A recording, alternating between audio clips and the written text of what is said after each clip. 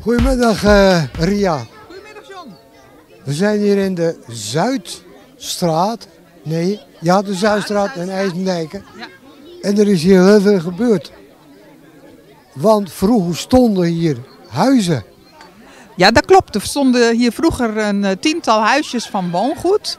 En het terrein is ook niet zo groot. En die huisjes waren echt heel oud. Dus toen hebben ze ze weggehaald.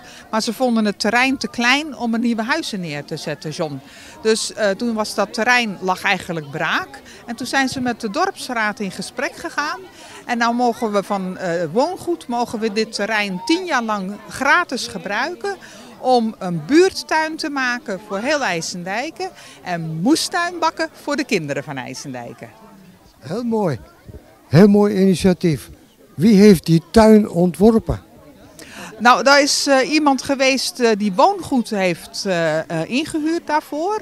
Want woongoed die wilde wel dat het echt een mooie tuin zou worden met overal prachtige bloemen, maar ook met appelbomen en fruitbomen. Dus het ontwerp is van woongoed. Oké. Okay.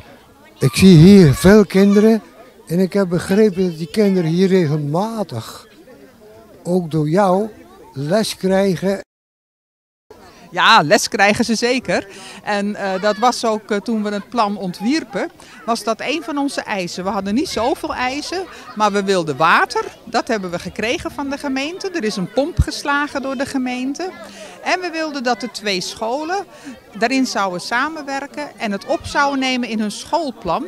En de kinderen van groep 6, daar staat nu in hun schoolplan dat ze elke donderdagmiddag les krijgen in, of in de natuur of in de moestuin. Fantastisch. Dankjewel.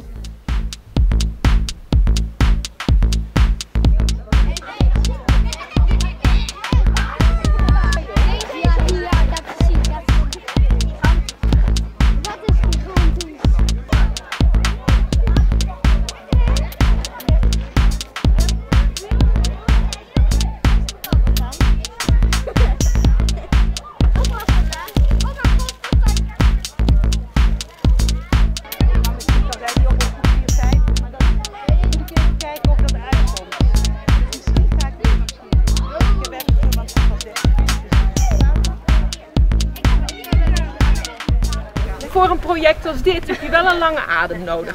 Het zaadje werd al gelegd in 2018. En in 2019 hebben we het eerste gesprek met woongoed gehad.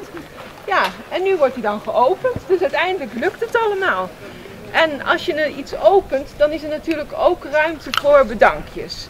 Dus ik wil ook een heleboel mensen even gaan bedanken. En dan begin ik met woongoed, hè, want dat was naast het zaadje vanuit de dorpsraad degene die gelijk zei van dat gaan we doen die ook de tuin als basis heeft aangelegd, de verharding, de omheining en dergelijke. En die gewoon dat hele stuk terrein tien jaar lang om niet aan ons heeft gegund. Dus dat is super belangrijk. Bedankt daarvoor. Graag gedaan.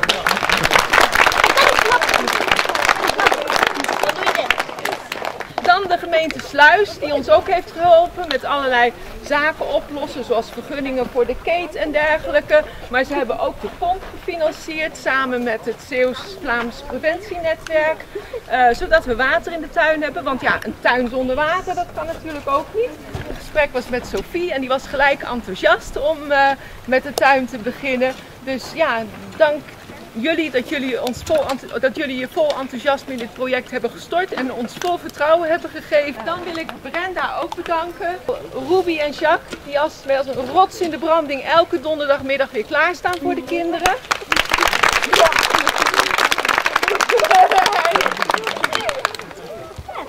En ook, uh, die zijn er helaas niet, maar uh, Wim en Renske die hebben de website gebouwd. En Wim is van het mooie bord aan de ingang, die heeft dat uh, ontworpen. En als laatste wil ik natuurlijk alle kinderen bedanken die zo enthousiast met ons... Nee, 2019 begonnen we te praten. En het is 2023, vier jaar verder, we hebben niet eens een woning gebouwd. Dus zo lang gaat er soms overheen voordat je iets kunt realiseren. Maar wat u gerealiseerd is, uh, dat spreekt me wel enorm aan. Ik vind het op deze plek enorm goed uh, passen.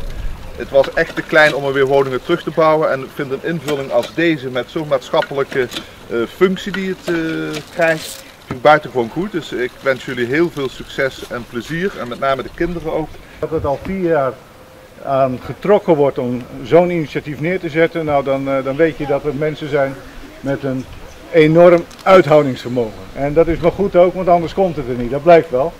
En ik weet zelf wel dat eh, ik eh, nog wel met uh, Bea gesproken heb om bijvoorbeeld toch snel nog even te kunnen zorgen dat er iets gezet kon worden voordat woongoed dingen zou, zou aanleggen. Want er moest wel vooraf rekening mee gehouden worden.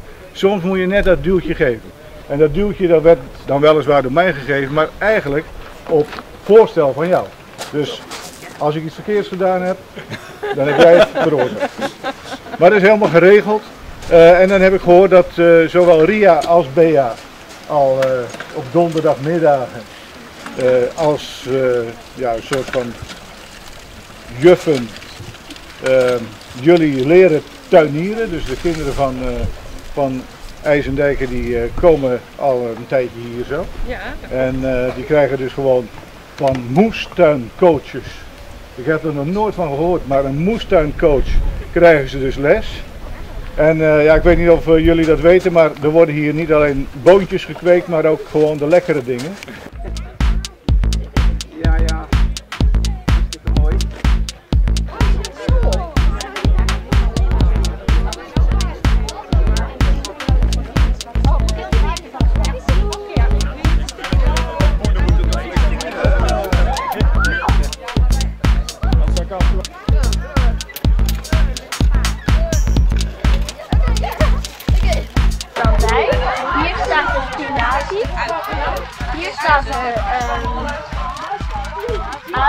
En hier um, moet ik de opslaan komen.